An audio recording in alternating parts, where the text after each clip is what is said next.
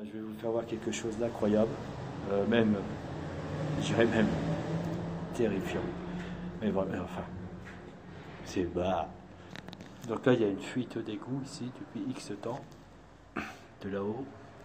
Et si vous approchez doucement, je ne tiens pas qu'il les réveiller parce que là, on est au mois de décembre. Regardez. Ils nous attendent pour nous piquer. Voyez le truc. Regardez.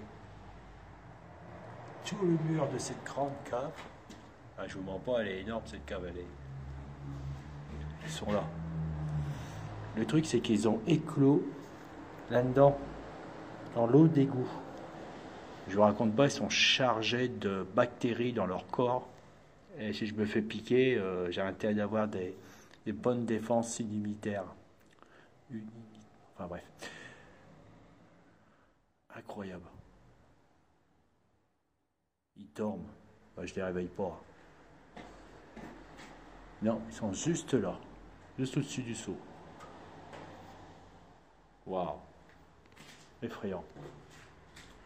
Effrayant.